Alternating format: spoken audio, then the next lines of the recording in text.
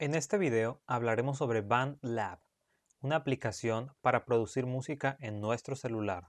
Uno pensaría que para ello se ocupa una computadora, estudio, bocinas, cables y muchos aparatos, pero no, en nuestro bolsillo tenemos lo suficiente para crear nuestras pistas musicales. Para instalarlo ya se la saben, vamos a nuestra tienda de aplicaciones, tanto en iOS como Android está disponible y es gratis. Elegimos registrarnos con Google para más comodidad. Ya habíamos dicho que sería mucho más fácil hacer todo con una cuenta así. Nos pedirá después un nombre de usuario, aquí después de muchos intentos al fin me aceptó uno.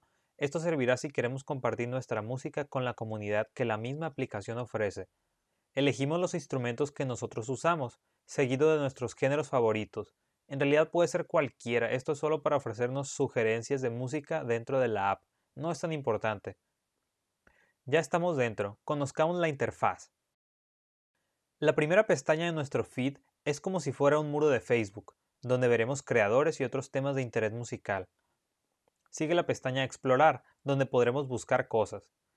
Nos movemos a la campanita de Notificaciones, donde podremos ver si alguien nos sigue o cosas así.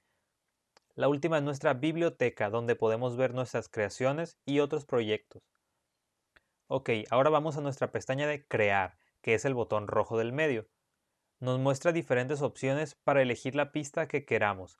Incluso tiene la opción de afinador, muy útil para guitarristas.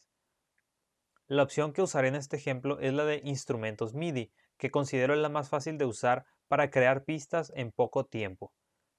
Con las otras opciones podemos usar el micrófono del teléfono y cantar sobre alguna pista que hemos hecho. Una vez dentro, tenemos muchas opciones de instrumentos y hasta paquetes ya creados. En mi caso buscaré un piano eléctrico, para seleccionarlo simplemente presionamos el nombre. Nos aparecerá nuestra ventana de producción, pero ahorita vamos a hablar sobre ella.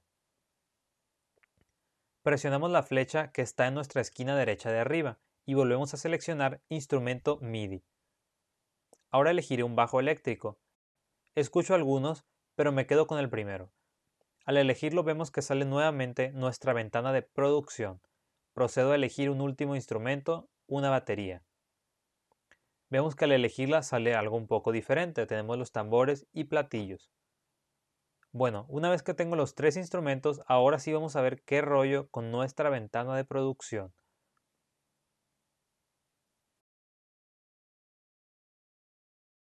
Los botones de arriba. El primero es para salir. Siempre que presionemos nos va a preguntar si queremos guardar cambios. El segundo es para introducir notas. Es la ventana por defecto. Donde está el lápiz es para escribir letra, a veces es útil.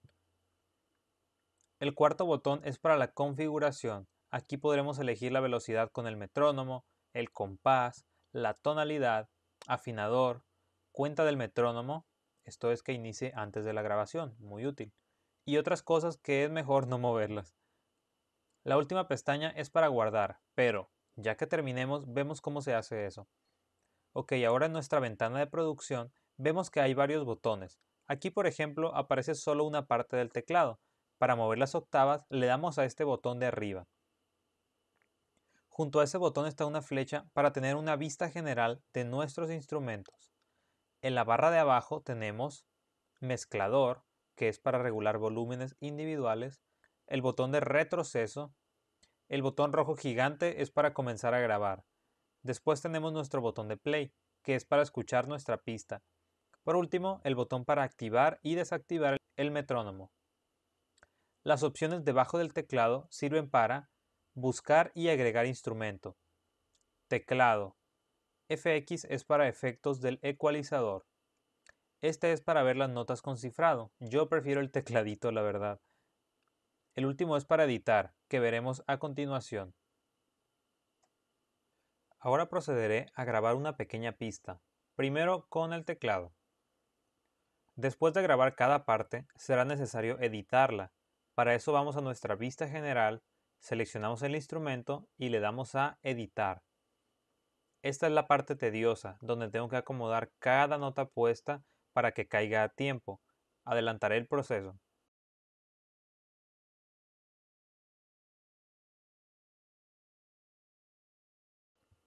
Una vez hecho esto, procedo a grabar el bajo y después editar.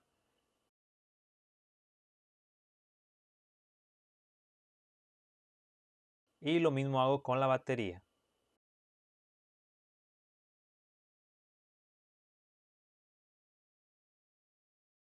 Al final recortamos la parte restante de la grabación. Y veamos cómo se escucha.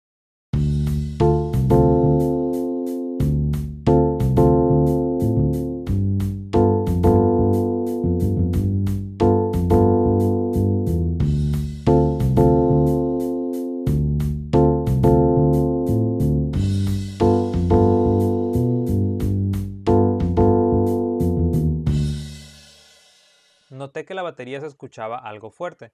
Para bajarle volumen y balancear todo, en nuestra vista general, arrastramos a la derecha nuestra barra de la izquierda y así podremos controlar el volumen.